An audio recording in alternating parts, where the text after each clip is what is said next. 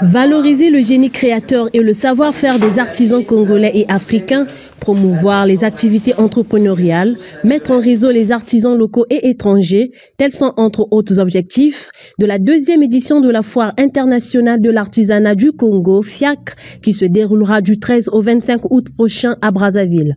Ce 18 juillet a été marqué par la présentation officielle de l'affiche de cette deuxième édition aux diplomates en poste au Congo. Nous avons le logo de la FIAC en vert, jaune, noir et rouge. Et ici, dans cette carte de l'Afrique, c'est ça que nous appelons mascotte de la deuxième édition. Le logo de la FIAC ne change pas. Il est le même euh, pour toutes euh, les éditions. Mais à chaque édition, selon le thème, nous lançons un concours pour trouver la meilleure mascotte. La mascotte n'est qu'une euh, identité euh, visuelle, euh, un graphisme, que ça peut être quelque chose d'animé ou d'inanimé qui représente l'édition, mais toujours en rapport avec le thème. Le thème de cette édition est la transformation locale des ressources naturelles par les artisans africains, défis et perspectives. La deuxième édition de la FIAC, c'est aussi des expositions, vente des œuvres d'art, des panels animés par des experts, des ateliers de formation, des défilés de mode et bien d'autres. L'entrepreneuriat et l'auto-emploi deviennent ces dernières années, pour nos pays en développement une des réponses les plus adéquates pour les jeunes afin de faire face aux différentes crises économiques et sortir de sous-emploi qui en résultent c'est l'une des solutions choisies par notre.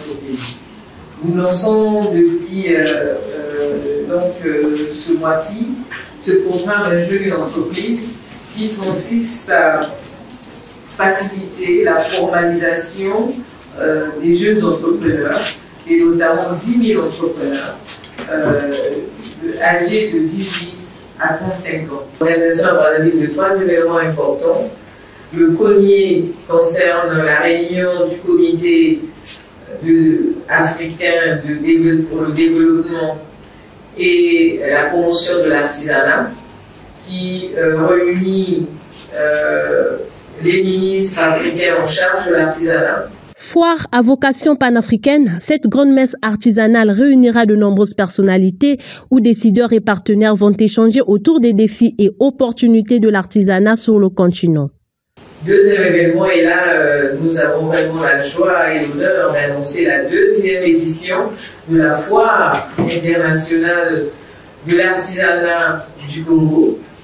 C'était un grand événement. Euh, nous avons cette foire est, dorénavant institutionnalisée et euh, fait partie du calendrier des foires internationales au niveau donc, mondial, mais surtout au niveau africain.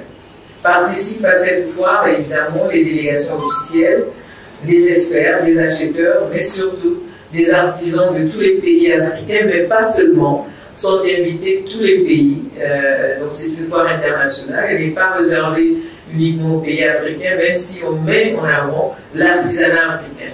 Ce n'est pas une foire pour venir voir des artisans africains euh, uniquement, mais en premier lieu les artisans africains c'est une institution du.